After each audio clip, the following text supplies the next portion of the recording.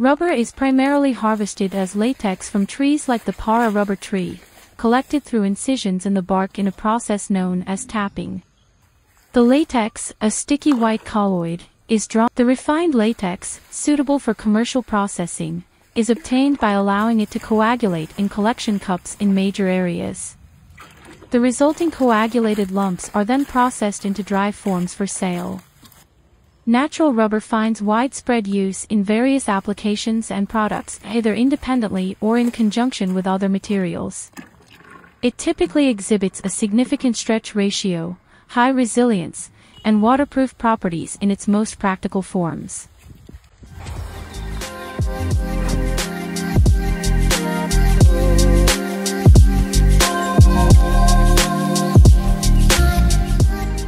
As depicted in the video, the gathered rubber from trees is collectively transported in cans to a rubber manufacturing facility.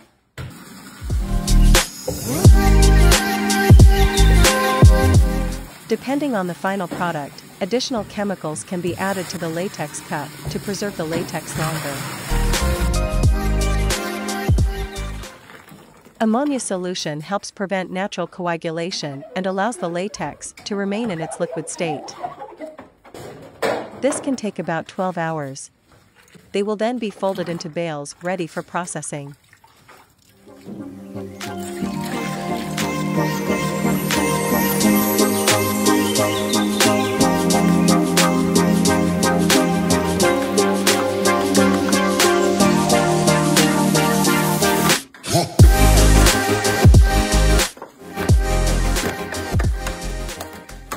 The mixture is then passed through rollers to remove excess water.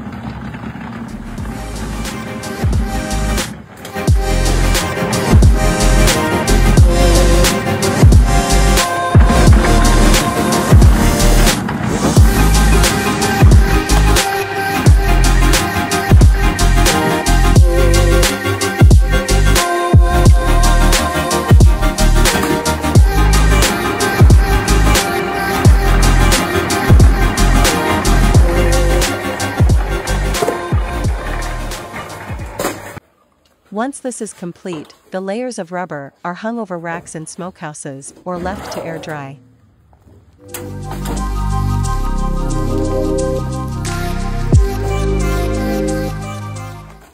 Several days later, they will then be folded into bales ready for processing.